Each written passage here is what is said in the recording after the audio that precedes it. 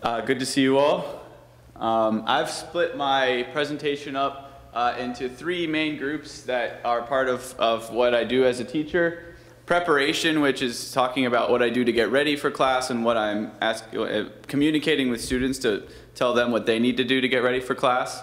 Uh, instruction, so actually in class and the tasks that I actually assign to students to carry out so that they uh, engage with the content and learning takes place. And then assessment, which is checking um, that you know such learning actually has taken place. And so the ways that technology has improved all three of these areas um, for me, and uh, for me, exploring new things, exploring technology, and uh, getting it to work as well as possible, um, and improving and, and constantly revising and thinking about um, whether it's you know really worth it to do this with a technological or is it just is it better to do it the old-fashioned way which sometimes it is but uh, evaluating that I really like that part of my job so um, happy to share with you. Um, uh, I have, I'm really lucky we have a brand new textbook this year and it has a great online component um, and this is a screenshot from our next chapter uh, which is about adaptations and so uh, the great thing about the online textbook, uh, the students can uh, access it from any computer. They have their own login. Um, they can, they can, it's basically the textbook in PDF format, but it's interactive. If you click on a vocabulary word, it'll pop up with the definition right away. Um, the students can take notes on the pages. They can highlight things, um, all things that you can't do with a, uh, with a typical textbook. And it's also a lot less heavy. In addition, uh, the students have a whole range of other um, tools that come with the textbook. So we've got um, videos that it comes with. There's also interactive features uh, that uh, they can explore themselves, or sometimes I'll make up a, a guide for them to uh, explore something and, and make sure that I, they get what I want them to get out of it. Um, down here in the bottom left, there's different interview, uh, review, uh, interactive review um, games, concept maps, things like that. Um,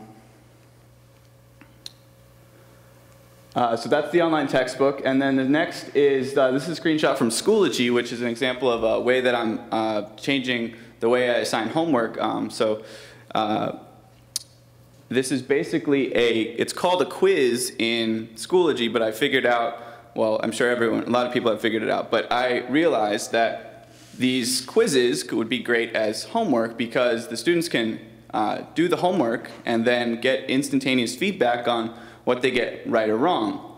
And I usually give them, like you can see, uh, a couple attempts on the homework so that you know they don't just do it right and get some of them wrong and that's it. They can do it uh, once, get some of them wrong, go back and fix that until they get, you know, as you can see, most of them keep trying until they get, uh, you know, almost perfect. Um, so uh, another, another good thing about this is that I get this information. So this is what I see, and um, then I can use that to inform what I want to do in class. Like if everyone's getting this question wrong, then I, I clearly need to explain that, um, you know, step by step in class. So it's use of it. Um, of course, I'm sure uh, you've probably heard, you know, students love Schoology because all their handouts, all their resources are there all the time. So um, just pointing that out. And also um, the app, these are screenshots from the app. So uh, I've seen students doing the quizzes on their uh, phones and you know, it's pretty small, but the, they like to do that. They just pop them out, log into Schoology, and they can, uh, they can do the homework right on their phone, which is it's pretty darn cool. They could do it you know, in the car, they could do it on the bus on the way to a sporting event, um, stuff like that. Um, again, resources, I can post stuff. Um, you know, I can post stuff from my phone, which is convenient for me as well. Um, I can talk to uh, students with messaging on the app. Um, and so I think the Schoology app is really nice. It's just one of the amazing things about Schoology. I'm sure everyone will, uh, you know, rave about Schoology. Of course, it's not perfect, but um, I think uh, I wasn't here, but I think for uh, um, you know, a couple of the tries for a learning management system that didn't work out that well, but I think we've really hit gold with Schoology, and I think uh, I read a, a, tweet by Dr. Jones a couple uh, week or so ago about how much people like it, so um, I'm one of those people. Um, Um, you know, this is an example of a video that me and Mr. Pepper made about. Mr. Pepper, I carry this Um, Whoa, whoa, whoa, Mr. Stewart. This is actually improper microscope care. Put that down. Um, and then Mr. Pepper goes on to explain about proper ways to carry the One hand on its microscope. Um, Microscopes are pretty heavy. They weigh about. So, to be honest, we didn't make that many videos this year, but it it is time consuming process. Um, but it's something that, you know, you, you try to make a few more every year and then eventually they become an integrated part of, of the, of the Actually, no. school year. You want to be Um, really careful when you carry. So we filmed this using an iPad, uh, and then we were, and then Mr. Pepper edited, also edited it, um, it so students could look at this and then, um, you know, before we get into the ways. something like a flipped classroom idea where they can watch a video, get some information at home, and then come into class to do some before, guided as practice. We were carrying like it. This bottom part here is called the base, and it supports the entire microscope. This also is. Um, so that kind of sums up that, that preparation aspect, which uh, has a lot to do with Schoology, um, communication with students, um, and I really like the online textbook. Um, so going on to the instruction side of things, um, this is where it kind of uh, comes in and is a little bit more um, science-based, uh, I think specific to science and biology.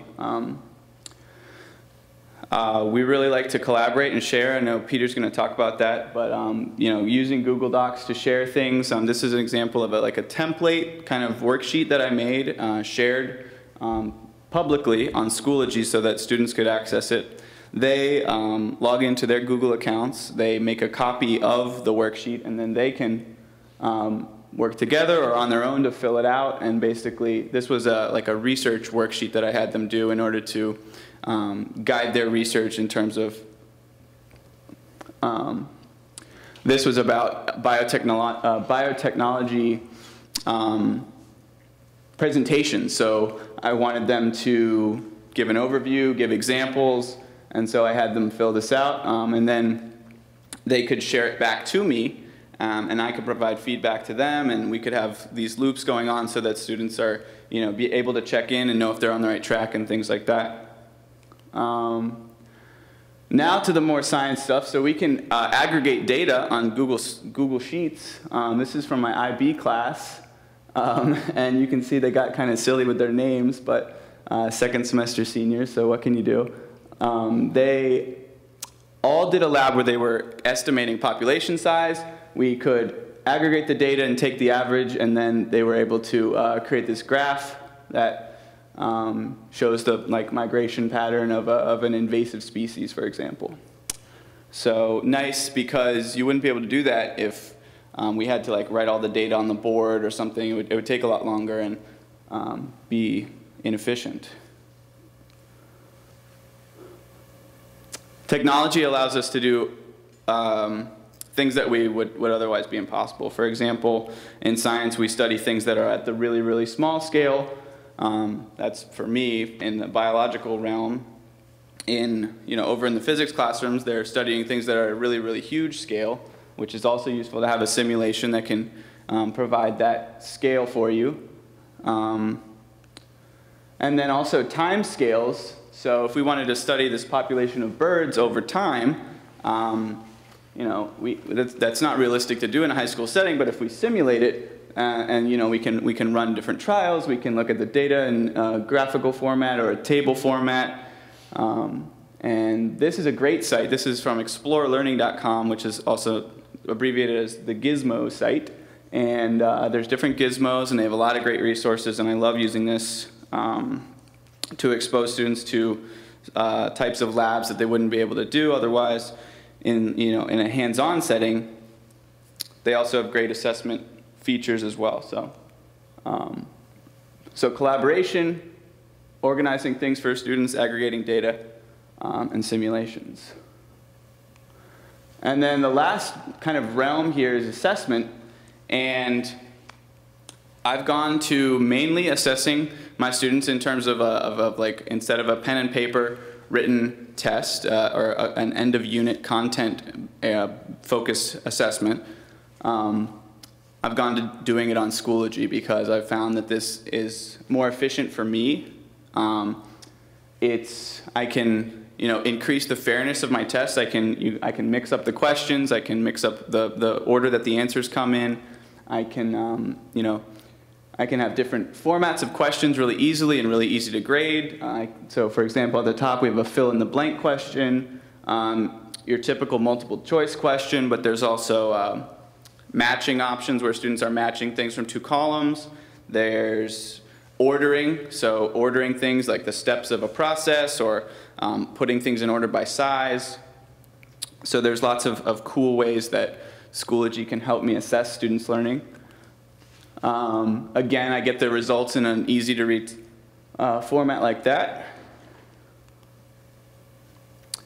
And then this is another uh, resource that the school has, which um, it's called SchoolNet, and it goes through the, um, the gradebook software. So it integrates with Gradebook, which is really nice. Um, I found that I like to use this, uh, use this for like exams um, and more than the, the typical unit tests because um, it's a little bit more secure. So it's, it's, it's um,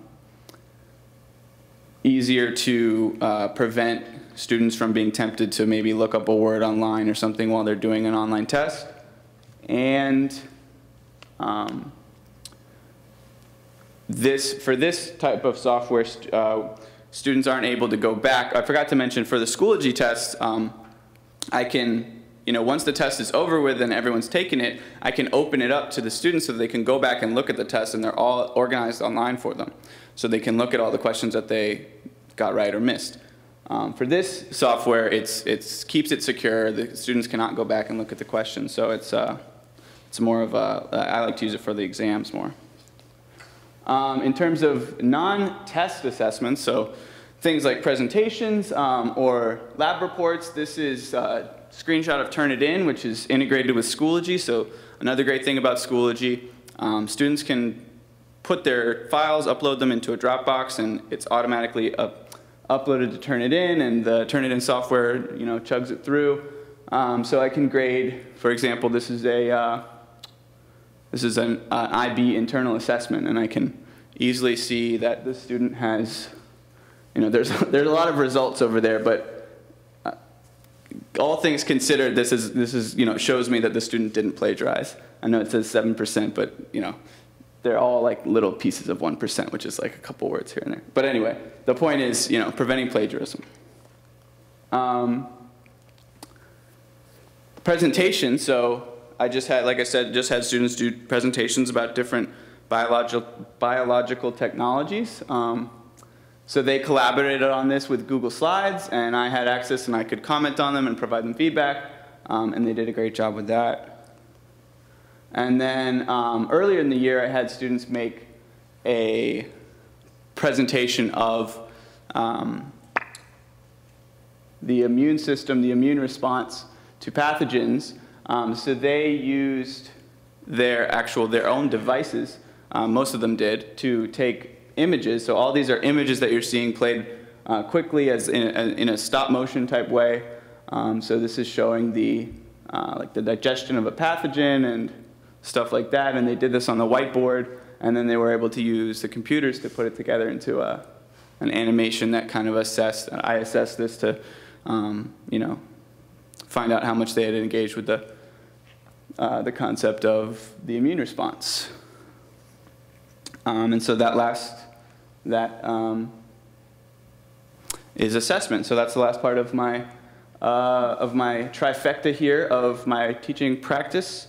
Um, like I said, I love trying new things, and so there's a lot of stuff that I didn't put on here that are simply ideas in my head that I'm hoping to get to. And you know, every unit is a new opportunity to try something new or get rid of something old that's not working. And so um, I hope that was helpful in understanding how I use technology in my classroom.